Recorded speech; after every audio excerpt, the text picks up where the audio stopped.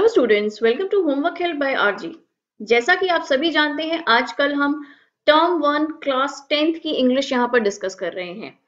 फ़िलहाल हम CBSE class tenth की बुक फ़र्स्ट फ़्लाइट के एमसीक्यूज डिस्कस कर रहे हैं। इसके third lesson his first flight का एक पार्ट हमने पिछली वीडियो में किया था। आज हम सेकेंड पार्ट में इसको वाइंड अप कर देंगे।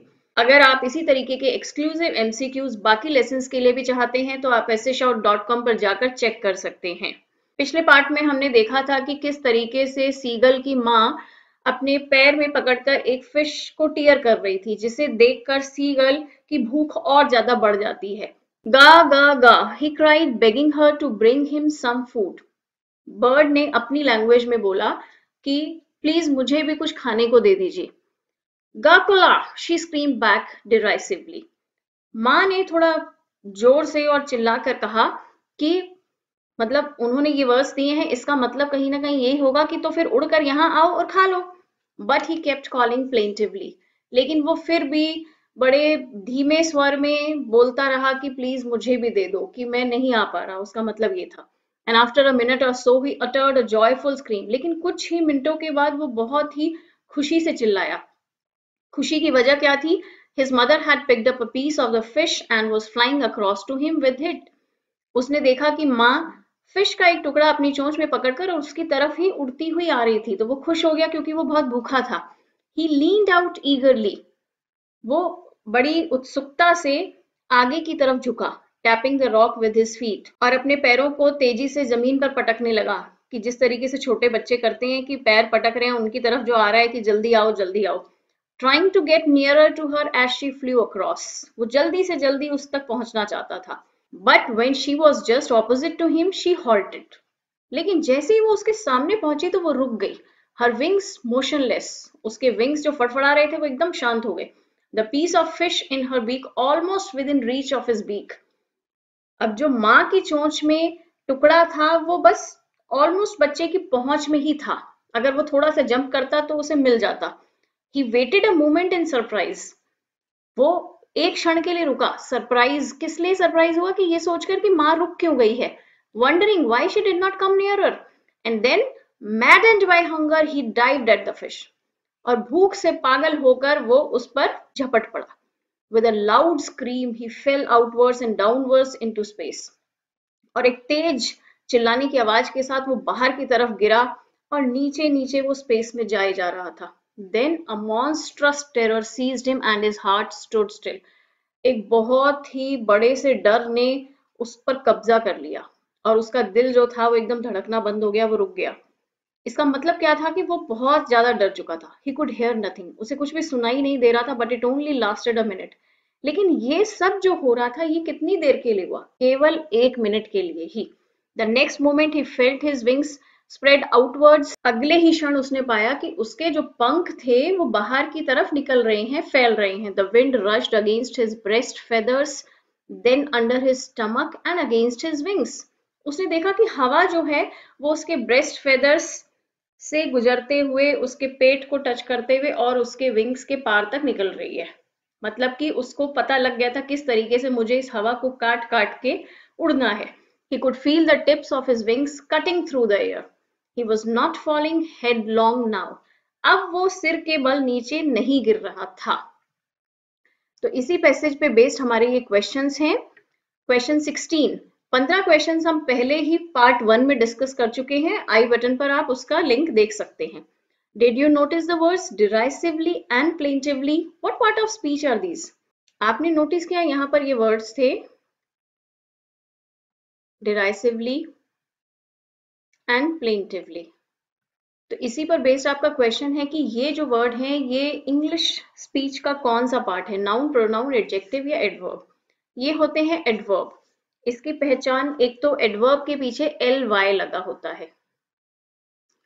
दूसरी बात, क्योंकि वहाँ पर बताया जा रहा है, ये एक्शन को डिस्क्राइब कर रहा है। तो जो एक्शन को डिस्क्राइब करते हैं, वो एडवर्ब होते हैं। तो इसका हमारा सही जवाब है D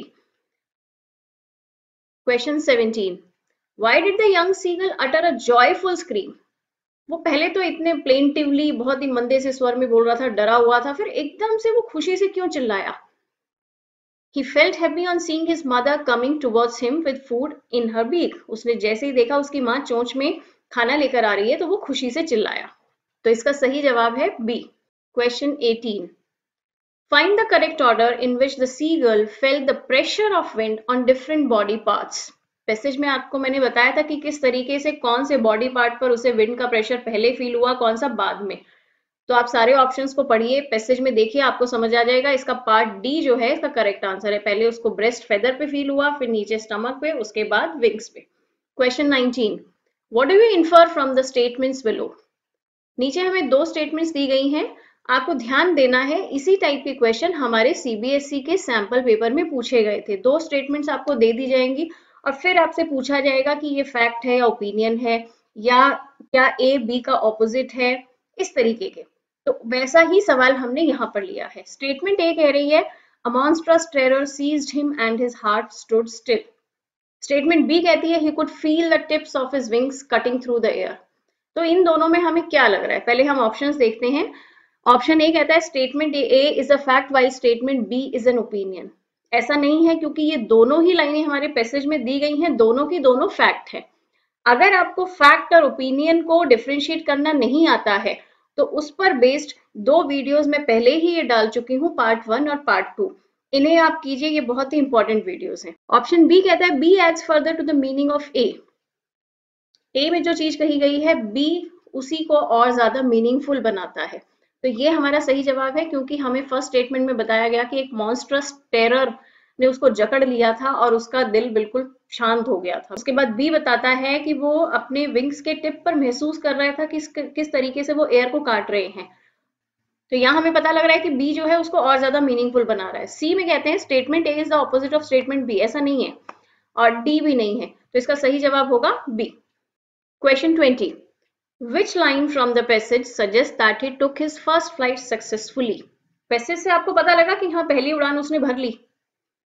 किस लाइन से या किन शब्दों से हमें ये पता लग रहा है? ये हमें पता लग रहा है option C he was not falling headlong now क्योंकि अगर वो हेड लॉन्ग गिरता जाएगा गिरता जाएगा तो मतलब कि उसके विंग्स खुले ही नहीं है। उन्होंने बोला, वो अब हेड लॉन्ग नीचे नहीं गिर रहा था। इसका मतलब he had taken his first flight successfully सामने आंसर्स भी आपको दिख जाएँगे, आप अपने आंसर्स चेक कर सकते हैं। अब हम इसके लास्ट पैसेज पर आ गए हैं। इस पैसेज में बताया जा रहा है कि किस तरीके से अपनी फ़र्स्ट फ़्लाइट फ़र्स्ट उड़ान भरने के बाद उसको कैसी फीलिंग हुई, उसने किस तरीके से उसको एंजॉय किया। He was soaring gradually downwards and outwards अब वो कभी नीचे की तरफ़ जा रहा था, कभी बाहर की तरफ़ जा रहा था। He was no longer afraid अब उसे कोई डर नहीं था। He just felt a bit dizzy थोड़ा सा उसका सिर चकरा रहा था। Then he flapped his wings once and he soared upwards उसने अपने विंग्स को फ्लैप किया और फिर से वो ऊपर की तरफ़ उड़ गया और वो खुशी में गा रहा है ga ga ga ga his mother swooped past him her wings making a loud noise तेज़ी से आवाज़ करते हुए वो पूरा का पूरा परिवार वहाँ उड़ रहा है He answered her with another scream. Then his father flew over him screaming. He saw his two brothers and his sister flying around him, curvating and banking and soaring and diving. उसके तीनों भाई बहन उसके इर्द गिर्द घूम रहे हैं करवेटिंग कभी आसपास ऐसे गुलाई में घूम रहे हैं बैंकिंग का मतलब होता है एक जैसे प्लेन उड़ रहा होता है और वो पूरा का पूरा टिल्ट हो जाता है इस तरीके से। ऐसे उड़ रहे हैं, कभी एकदम से ऊपर जा रहे हैं, कभी नीचे आ रहे हैं। Then he completely forgot that he had not always been able to fly and commanded himself to dive and soar and curve shrieking shrilly उस समय वो पूरी तरीके से भूल चुका था कि कभी उसे उड़ना नहीं आता था। और अब वो खूब तेज़ी से उड़ रहा है और खुशी से चिल्ला रहा है He was near the sea now, flying straight over, facing straight out over the ocean. अब वो सी के ऊपर उड़ रहा था saw a vast green sea beneath him with little ridges moving over it and he turned his beak sideways and cawed amusedly. वो खुशी से वहाँ पर उड़े जा रहा है इस तरीके से अलग अलग शब्दों में उसको वो बता रहे हैं His parents and his brothers and sister had landed on this green flooring ahead of him. अब उसके आगे की तरफ़ जो उसको सी के ऊपर ग्रीन फ्लोरिंग दिख रही है, उसके पेरेंट्स और ब्रदर सिस्टर वो वहाँ पर उतर गए। ग्रीन फ्लोरिंग क्या है? समुद्र के ऊपर जैसे काई सी जमी होती है मॉसिस वो लोग वहाँ पर उतर गए he. Dropped his legs to stand on the green sea अब वो भी उतरने लगा। उड़ान तो भर ली थी पहली, लेकिन उतरना भी आना चाहिए।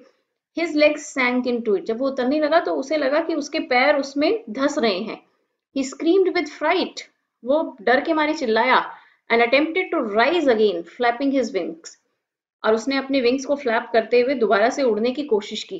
But he was tired and weak with hunger and he could not rise लेकिन वो थका भी हुआ था और भूखा भी था, इसलिए वो उठ नहीं पाया। Exhausted by the strange exercise strange exercise इसको क्यों कहा गया है? क्योंकि ये सब उसने पहली बार किया है। तो ये इस तरीके की एक्सरसाइज जो इतना ज़्यादा उड़ना विंग्स को फ्लैप करना, इस सबसे थक चुका था। His feet sank into the green sea and then his belly touched it and he sank no further. उसके फीट उस ग्रीन सी में डूब रहे थे लेकिन वो थोड़ा सा नीचे गए तो उसकी बेली तक वो आया उसके पेट तक आया उसको टच किया उसके बाद वो अब नहीं डूब रहा था उसके पैर नहीं धस रहे थे he was floating on it तो इसका मतलब उसे वहाँ पर लैंड करना भी आ गया His family was screaming, praising him, and their beaks were offering him scraps of dogfish. सब लोग खुशी से चिल्ला रहे थे और बीच बीच में उसको डॉग फ़िश खिला रहे थे क्योंकि उन्हें पता था कि वो 24 घंटे से ज़्यादा से भूखा था। He had made his first flight question twenty one why are the characters in the अब passage screaming and making loud noises सब लोग चिल्ला क्यों रहे हैं वहाँ पर? They all are extremely happy on the young seagull's first flight young seagull की पहली फ़्लाइट की वजह से वो सभी बहुत खुश हैं। सही जवाब है A question twenty two how did his sibling celebrate his achievement उसके भाई बहनों ने उसकी अचीवमेंट को कैसे सेलिब्रेट किया? They were flying around him curvetting and banking and soaring and diving option C is the correct answer option 23 एक image based question है, जैसा कि हमारे सीबीएसई क्वेश्चन बैंक में और सीबीएसई सैंपल पेपर में भी दिया गया है। आपको ये ध्यान रखना है, अगर आप टर्म वन के एमसीक्यूज की अच्छे से तैयारी करना चाहते हैं तो आप सभी सीबीएसई के क्वेश्चन बैंक को ज़रूर प्रिपेयर कीजिए। आपको सभी लेसन के सॉल्यूशंस कॉम पर मिल जाएँगे। वहाँ जाकर आप सर्च बॉक्स में टाइप कीजिए क्वेश्चन बैंक ये चार इमेज हमें यहाँ पर दी गई हैं। यहाँ पर पूछा जा रहा है क्वेश्चन नंबर 23 में what do you understand by green flooring in the passage मैंने आपको एक्सप्लेन किया था कि जो समुद्र के पानी के ऊपर काई होती है, उसको ग्रीन फ्लोरिंग कहा जा रहा है। तो ऑप्शन टू थ्री और फोर नहीं हो सकते। इसका सही जवाब है option A sea mosses question 24 he could not rise from the green flooring mark the incorrect answer from the following options वो ग्रीन फ्लोरिंग से ऊपर क्यों नहीं उठ पा रहा था नीचे दिए गए में से इनकरेक्ट ऑप्शन को आपको मार्क करना है he was lazy he was hungry he was tired he was weak he was lazy is the incorrect answer he was lazy is the incorrect reason for that so option a is the right answer question 25 when his legs sank into the green sea what was his state of mind in the passage जब green sea के अंदर, यानी कि वो जो green patch था, वहाँ पर उसके पैर सिंक करने लगे, डूबने लगे तो उसकी दिमाग की क्या हालत थी? कैसी सोच थी उस time he was excited with happiness frightened disappointed और डिमोटिवेटेड ही वॉज़ फ्राइटेंड वो डर गया था। उसे लगा कि उड़ान तो मैंने भर ली है, लेकिन अब मैं इसके अंदर डूब जाऊँगा। तो option B is the correct answer answers आपके सामने हैं, आप चेक कर सकते हैं।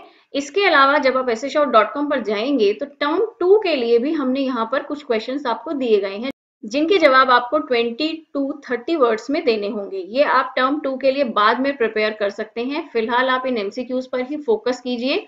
तो मिलते हैं अगली वीडियो में। तब तक के लिए गुड बाय